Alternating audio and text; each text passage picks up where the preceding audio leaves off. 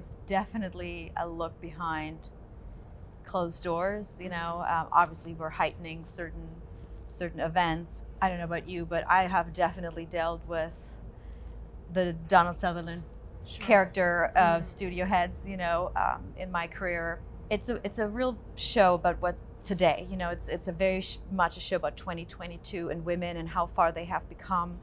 Um, what you're willing to sacrifice to get to the top and what that means for being a woman as well right? You're you have control you have power you got the job. But now what about your family? What about your husband? What about the other things that you also want right? And and i think that dilemma um, i certainly for myself i've felt all my life right? And i think a lot of women can identify with